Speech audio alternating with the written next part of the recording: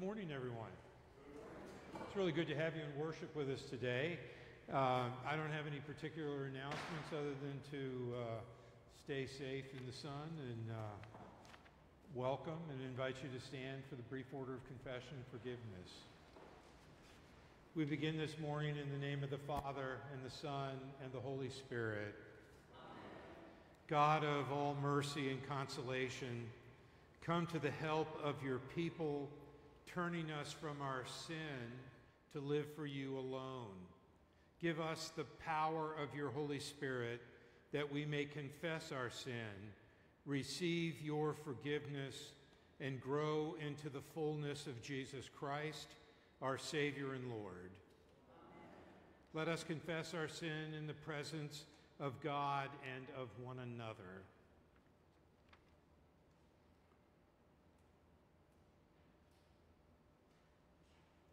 Most merciful God, we confess that we are captive to sin and cannot free ourselves.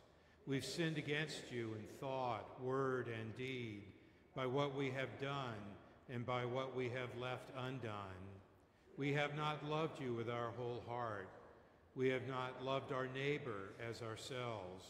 For the sake of your Son, Jesus Christ, have mercy on us, forgive us, renew us, and lead us, so that we may delight in your will and walk in your ways to the glory of your holy name. Amen. God, who is rich in mercy, loved us even when we were dead in sin and made us alive together with Christ. By grace you have been saved. In the name of Jesus Christ, your sins are forgiven. May Almighty God strengthen you with power through the Holy Spirit, that Christ may live in your hearts through faith. Amen.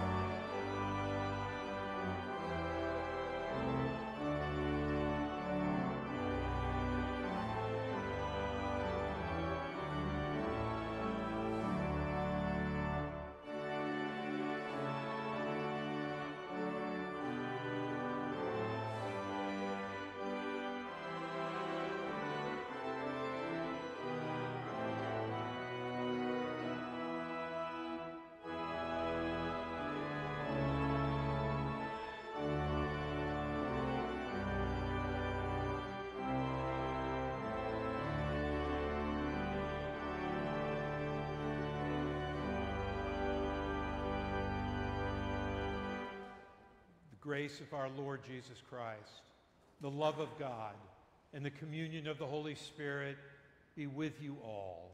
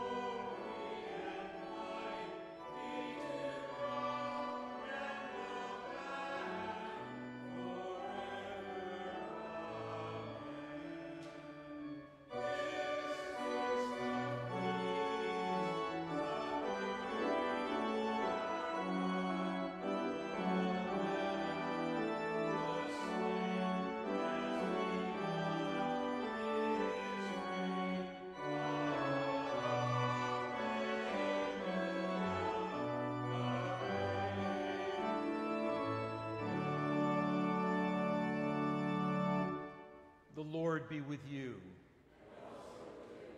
Let us pray. O God, powerful and compassionate, you shepherd your people, faithfully feeding and protecting us. Heal each of us and make us a whole people, that we may embody the justice and peace of your Son, Jesus Christ, our Savior and Lord. Amen.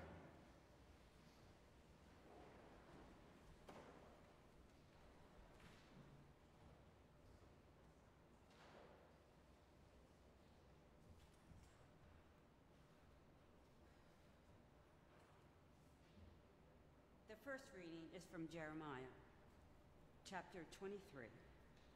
Jeremiah prophesies before the exile in 587 BCE. In this passage, he uses a metaphor of a shepherd to describe the bad kings who has scattered the flocks of Israel. God promises to gather the flock and to raise up a new king from David's line to save Israel and Judah. Here begins the reading. Woe to the shepherds who destroy and scatter the sheep of my pasture, says the Lord. Therefore, thus says the Lord, the God of Israel, concerning the shepherds who shepherd my people It is you who have scattered my flock, and have driven them away, and you have not attended to them. So I will attend to you for your evil doings, says the Lord. Then I myself will gather the remnants of my flock out of the lands where I've driven them, and I will bring them back to their fold, and they shall be fruitful and multiply. I will raise up shepherds over them who will shepherd them, and they shall not fear any longer or be dismayed, nor shall any be missing, says the Lord. The days are surely coming, says the Lord, when I will raise up for David a righteous branch, and he shall reign as king and deal wisely and shall execute justice and righteousness in the land. In his day, Judah will be saved, and Israel will live in safety. And this is the name by which he will be called. The Lord is our righteousness. The words of the Lord. Let us pray responsibly Psalm 23. The Lord is my shepherd, I shall not be in want.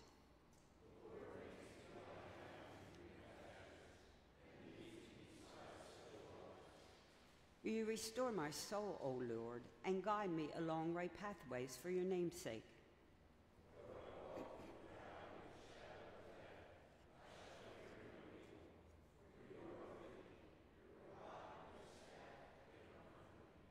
You prepare a table before me in the presence of my enemies. You anoint my head with oil, and my cup is running over.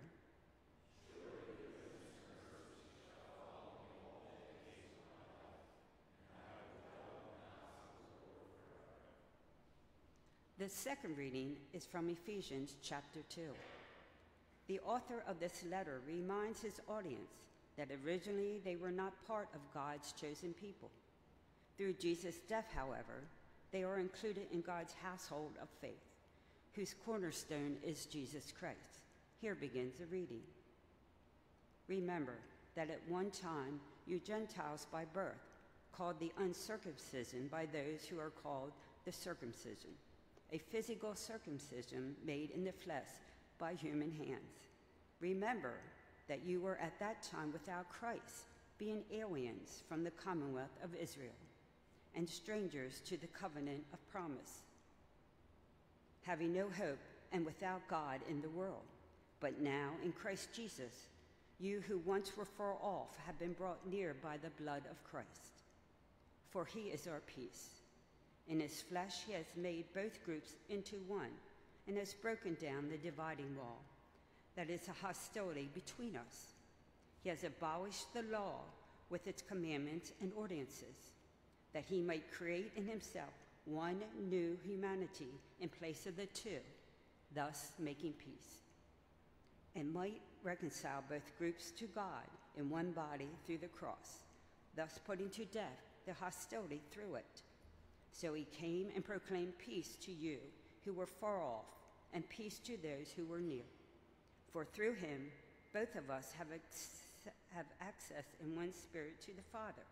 So then you are no longer strangers and aliens, but you are citizens with the saints and also members of the household of God, built upon the foundation of the apostles and prophets, with Christ Jesus himself as the cornerstone in him, the whole structure is joined together and grows into a holy temple in the Lord, in whom you also are built together spiritually into a dwelling place for God. The word of the Lord.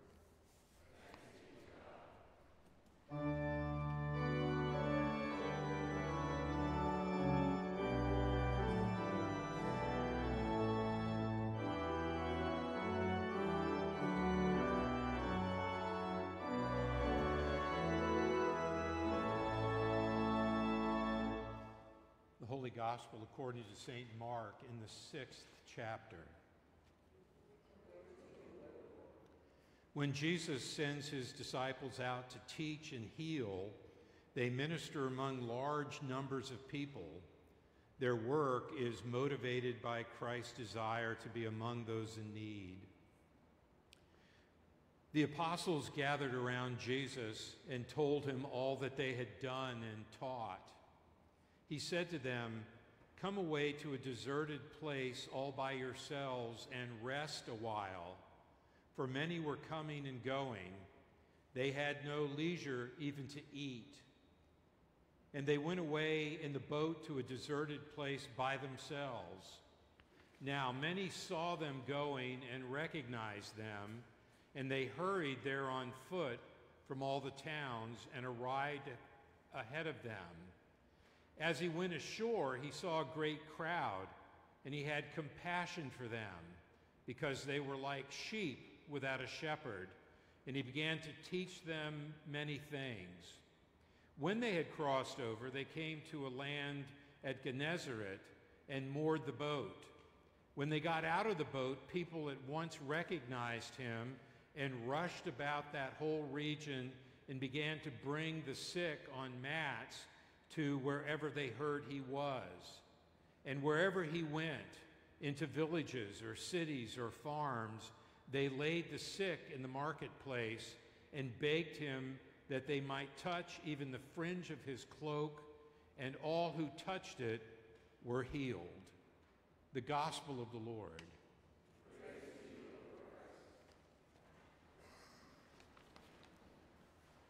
Grace to you and peace from God our Father and the Lord Jesus Christ. Last week we were reading in Ephesians in the first chapter, and we hit that uh, often commented on verses uh, basically 3 through 14, where Paul launches into a prayer of praise to God. And it is notable for two things. One of them, in 11 verses, he says, in him, or through him, or because of him, or the beloved, 14 times. So when Paul is considering all that's going on in his life and in his ministry and the lives of the people to whom he's in contact, he is praising God for what God is doing in the Messiah, in Jesus. And he says, in him, in him, in him, in him. And so that really sort of sets the stage for what follows. For some reason, the folks doing the lectionary are skipping over some pretty substantial material and getting to today's reading in the middle of the second chapter. But I wanted to kind of hit some of the highlights of what we're skipping over because I think it makes sense. Paul, after that famous line, uh, 11 verse long line, uh, which by the way he divides into three points. One of them is about the exodus out of Egypt. Another point is specifically a Passover reference. And the third one is about our inheritance in him. So he finally gets to that characteristic thing in an, an epistle of Paul where he tells the people how he is praying for them. And Paul's prayer for the Ephesians has to do with them appropriating wisdom and an understanding of the power that is work, at work within them in order for them to live as the disciples of Jesus Christ in the world. And so he's going to visit that business about power uh, fairly solidly. His point is that as human beings, we are born, says the baptismal liturgy, children of a fallen humanity. He takes sin quite seriously.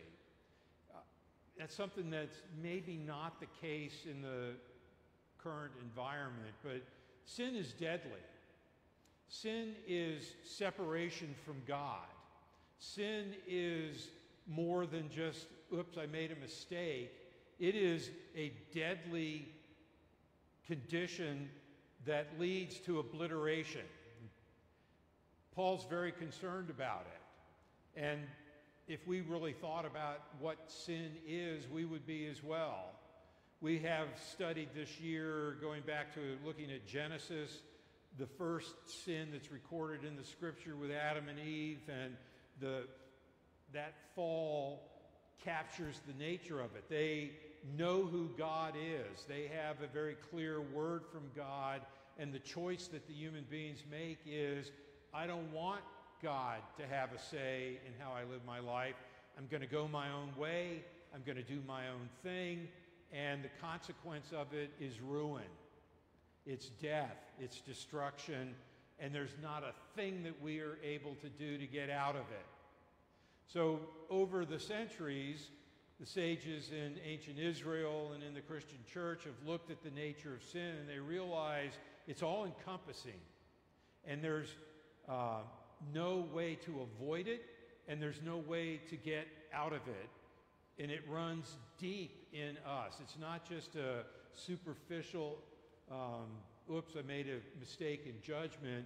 It is a profound rejection of who God is and puts us in a predicament where we're stuck and we can't get out. Uh, image that always comes to mind for me do you remember Rocky and Bullwinkle cartoons when you were a kid? It, the bad guy's name was Boris, and his girlfriend was Natasha, right? And they were always trying to cause mischief. And invariably, Boris would pull out a small black round ball of a thing with a fuse on it. It's called a petard. and the fuse was always lit, and somehow or the other, Boris never quite managed to throw the petard before it blew up in his hand. Well, there's a line from Shakespeare about being hoist in your own petard, and that's us.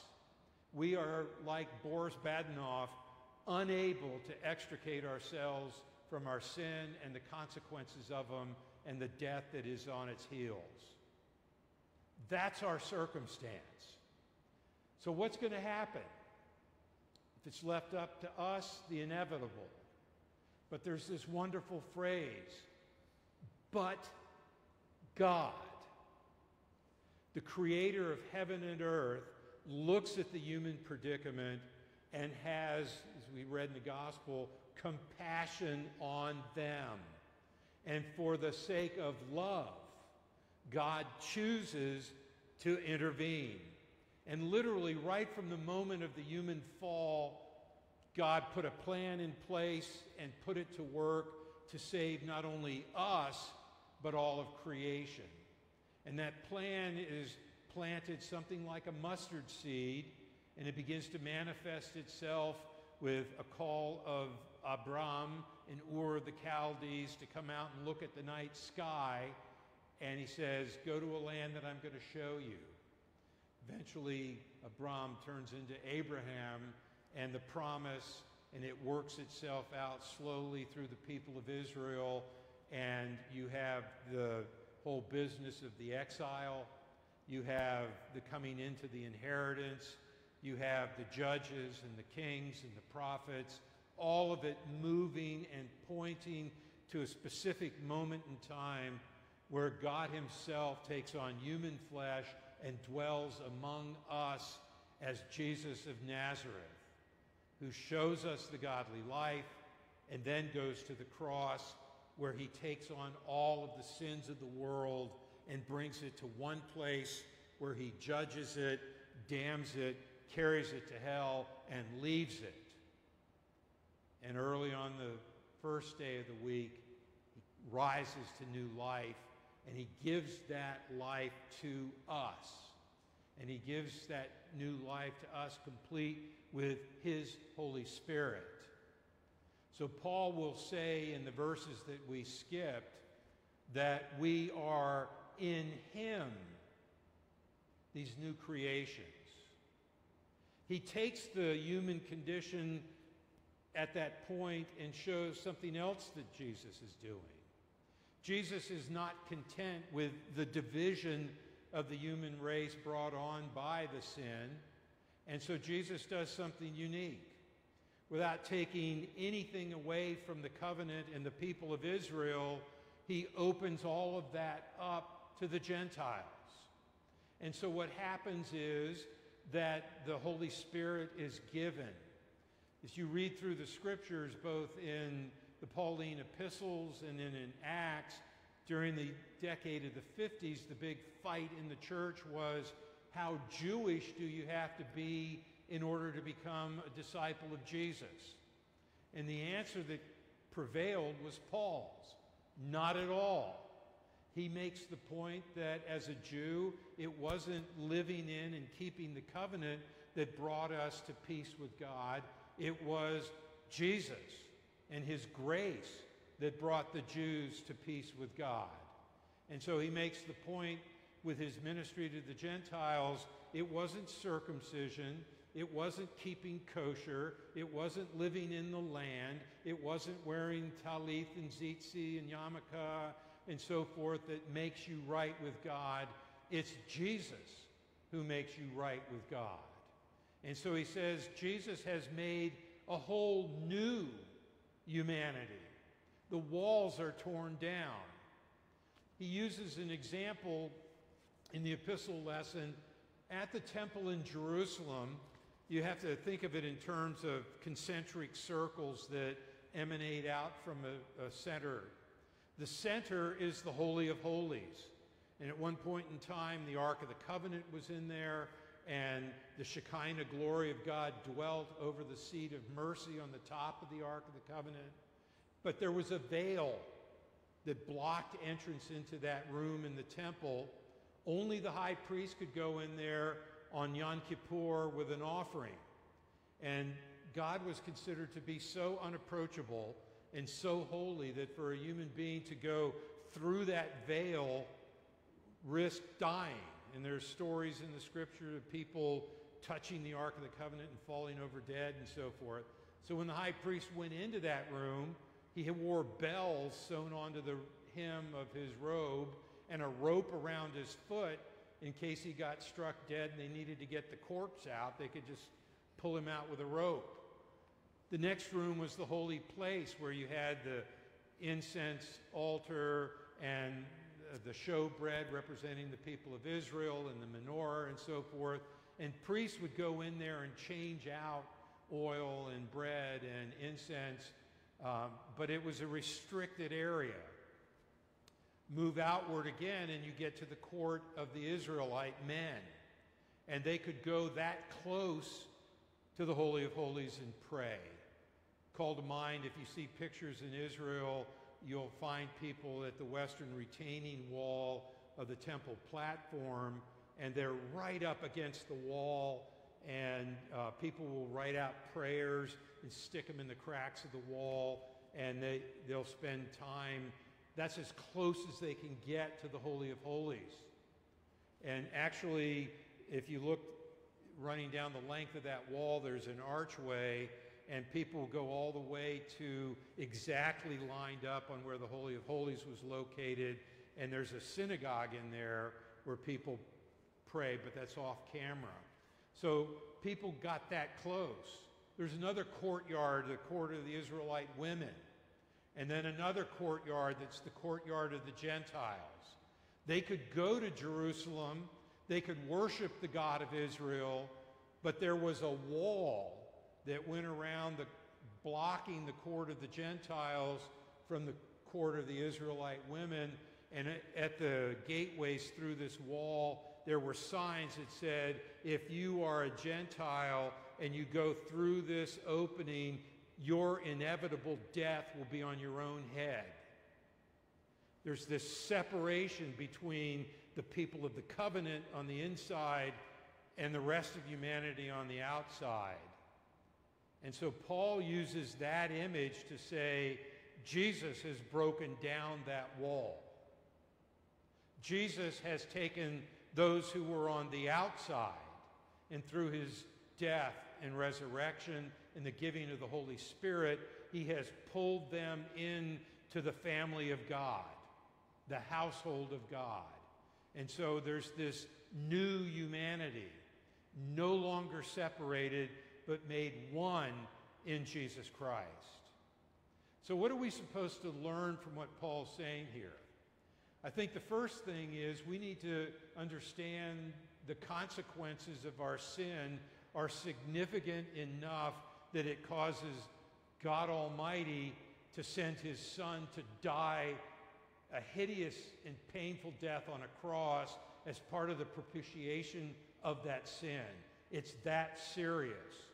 Dietrich Bonhoeffer said, What cost God much cannot be cheap for us. Those sins, though Christ takes them away, the residue of them clings to us in this life. You've heard Lutherans say the one Latin phrase we all learned in seminary, simul justus et peccator. In the same moment, I'm justified before God by Jesus, and yet I'm still a sinner. I have these thoughts and inclinations that run from surface level to the very core of my being that want to say, I don't want God to tell me what to do. I want to go my own way. I want to go my own distance. I want to have everything exactly the way I want it without consequences, and I think you ought to affirm it and pay for it. That's kind of the spirit of our age, and that still clings to us, and it will kill us. Yet in Jesus Christ, there is compassion, there is undeserved favor, there is a propitiation for our sin there is a being made right with God. There is the offer of new life there is a way forward that frees us from that thraldom. There is a new exodus made by the new Passover to carry us to the new inheritance in Jesus Christ. That is the dilemma with which we fight every single day. And we're never free from it. And it's a struggle. It's the kind of struggle, paraphrase Jesus, this is the kind that only comes out by prayer. And so we walk the Christian life in Him, and we go forward from there. It's in Him that we have the ability to mimic Him.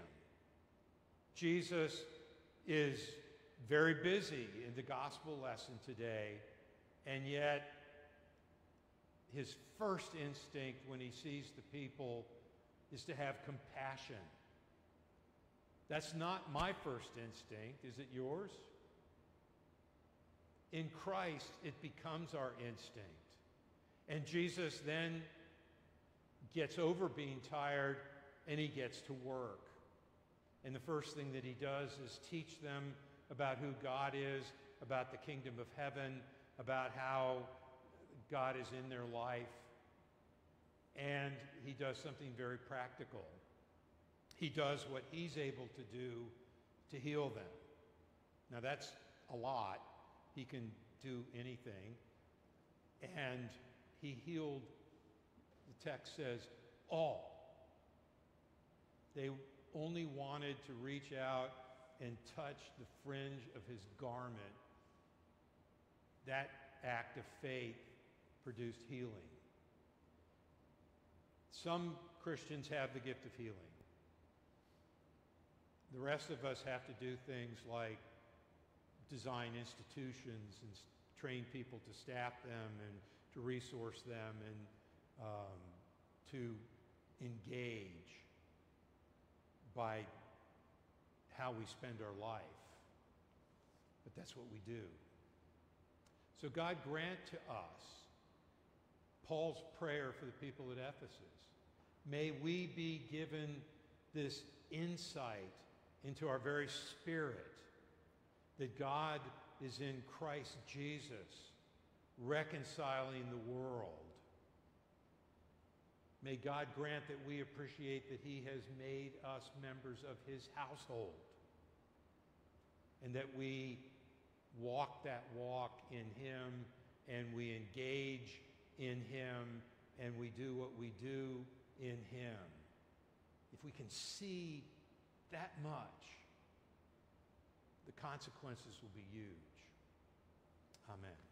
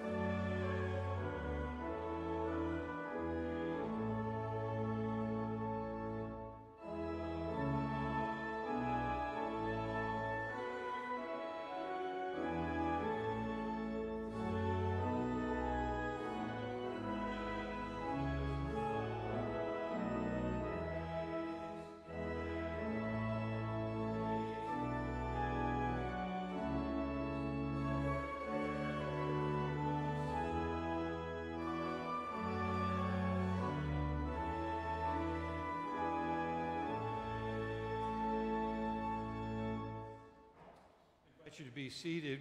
We have the pleasure this morning of taking a new person into membership. So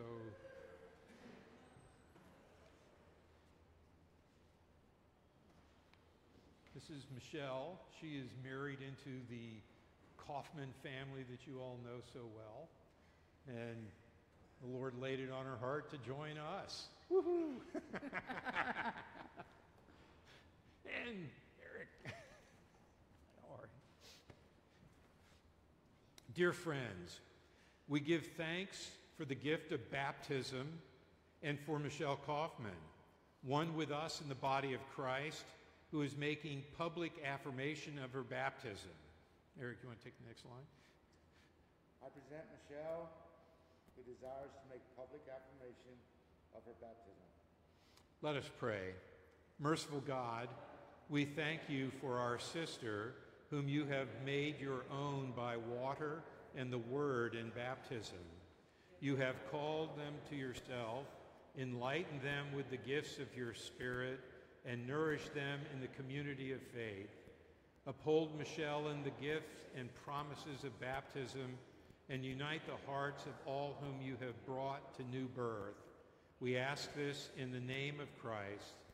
Amen. We are here this morning to welcome this new member into the community of St. John Evangelical Lutheran Church. We are not a building or a trust fund, but the gathered family of God. We are brothers and sisters in Christ, given this new identity through our baptism into Jesus' death and resurrection. Today, we welcome you as a member of this family in the larger body of Christ. And so we ask you do you desire to join the membership of St. John's Evangelical Lutheran Church? I do. We confess our faith together with the words of the Apostles' Creed. I believe in God, the Father Almighty, creator of heaven and earth.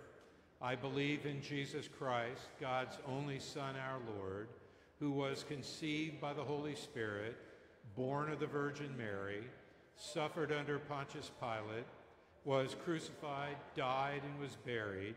He descended to the dead. On the third day he rose again. He is ascended into heaven. He is seated at the right hand of the Father, and he will come to judge the living and the dead. I believe in the Holy Spirit, the Holy Catholic Church, the communion of saints, the forgiveness of sins, the resurrection of the body, and the life everlasting. Amen. And so we ask you if you would sign right here. Just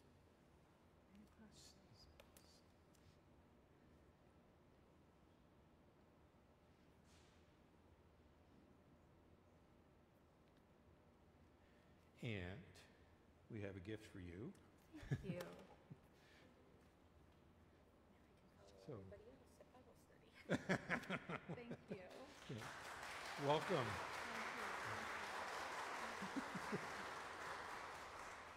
So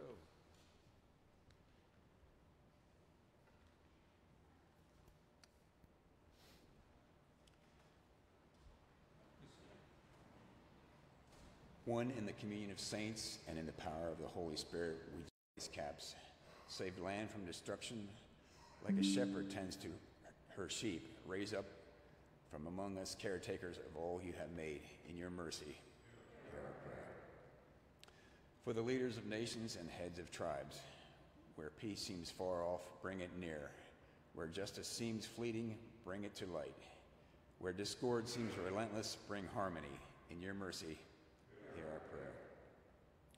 For the health and well being of family, friends, and neighbors, heal those who are sick, especially President Trump, Tiffany, Brad, Rosalind, Corey, Mark, Margie, Bruce, Marty, Donnie, Don, Lori, Josh, Brenda, Larry, Greg,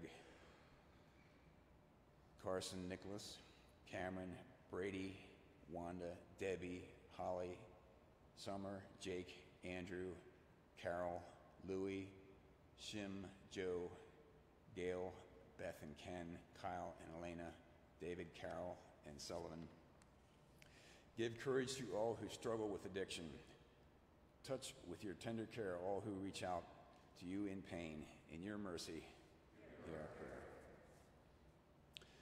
For this assembly and for the greater Columbia area ministerium, nurture the collaborative partnership of ecumenical churches, faith based, and other community organizations. Break down dividing walls and inspire collaboration to work, worship, and serve and pray together to demonstrate the love of Jesus Christ in meeting the needs of the community. In your mercy, hear our prayer. In thanksgiving for those who have died, make us certain that in Christ we're no longer strangers and aliens, but citizens with the saints in the household of God. In your mercy, hear our prayer. Holy God, holy and merciful, into your outstretched arms we commend ourselves and all for whom we pray, trusting in the one who is the way, the truth, and the life, Jesus Christ, our Savior and Lord. Amen. The peace of the Lord be with you always.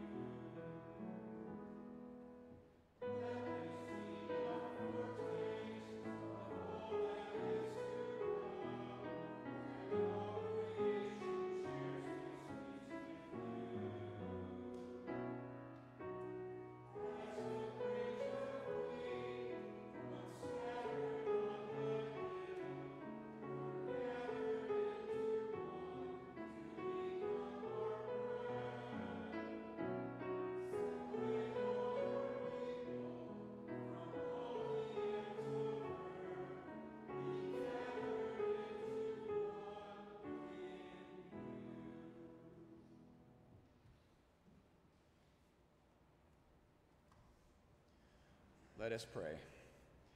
Jesus, bread of life, you have set this table with your very self and called us to the feast of plenty. Gather what has been sown among us and strengthen us in this meal. Make us to be what we receive here, your body for the life of the world. Amen.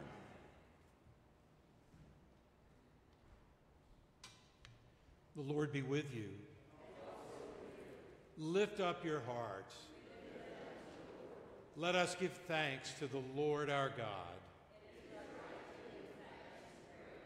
It is indeed right, our duty and our joy, that we should at all times and in all places give thanks and praise to you, Almighty and merciful God. You reveal your glory as the glory of the Father, the Son, and the Holy Spirit, equal in majesty, undivided in splendor, one Lord, one God, ever to be adored in your eternal glory. And so, with all the choirs of angels, with the church on earth, and the hosts of heaven, we praise your name and join their unending hymn.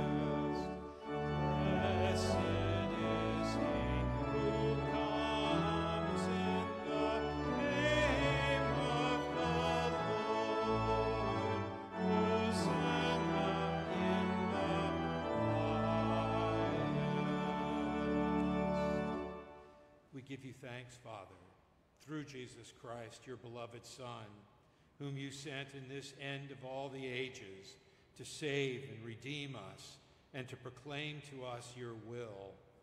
He is your word, inseparable from you, through whom you created all things, and in whom you take delight. He is your word, sent from heaven to a virgin's womb. He there took on our nature and our lot, and was shown forth as your Son, born of the Holy Spirit and the Virgin Mary. He, our Lord Jesus, fulfilled all your will and won for you a holy people. He stretched out his hands in suffering in order to free from suffering those who trust you. He is the one who handed over to a death he freely accepted in order to destroy death, to break the bonds of the evil one, to crush hell underfoot, to give light to the righteous, to establish his covenant, and to show forth the resurrection, taking bread, giving thanks to you, said, Take and eat. This is my body, which is given for you. Do this for the remembrance of me. In the same way, he took the cup, gave thanks, and gave it for all to drink, saying, This cup is the new covenant in my blood. It's poured out for you for the forgiveness of sins.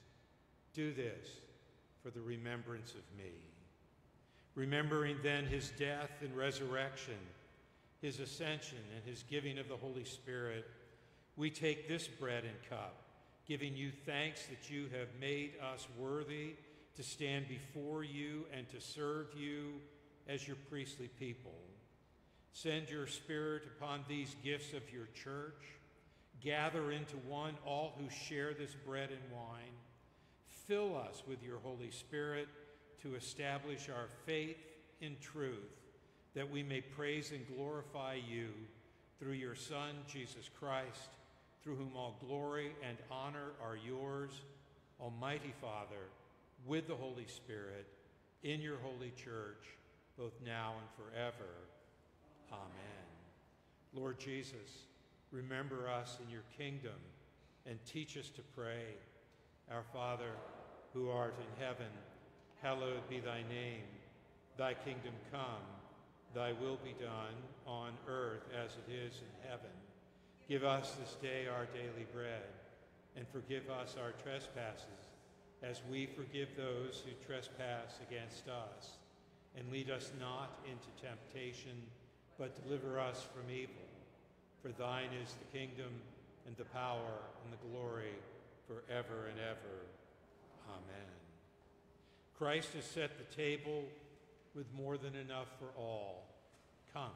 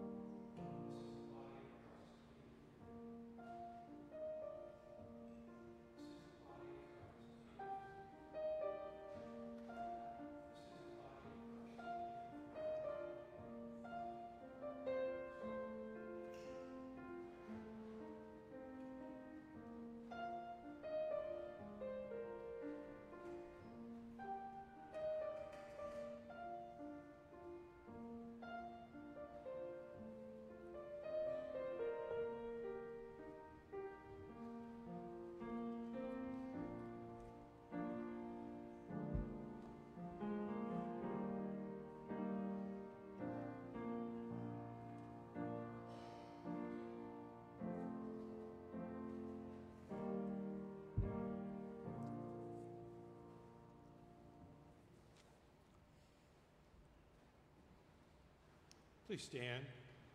May the body and blood of our Lord and Savior Jesus Christ strengthen you and keep you in his grace. Amen. Let us pray. Jesus, bread of life, we have received from your table more than we could ever ask. As you have nourished us in this meal, now strengthen us to love the world with your own life. In your name we pray. Amen. I'd like to invite anyone that would like to receive prayer and anointing to meet me in the front.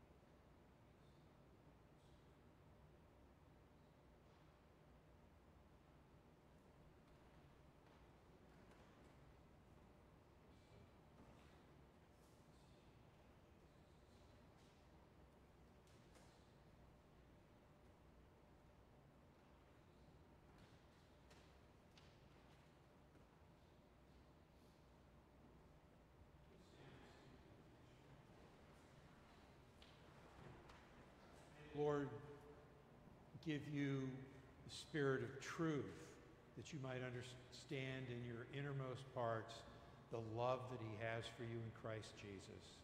May the Lord lift up his face upon you. May the Lord lift up the light of his countenance upon you. May the Lord give you his peace in the name of the Father, and the Son, and the Holy Spirit. Amen.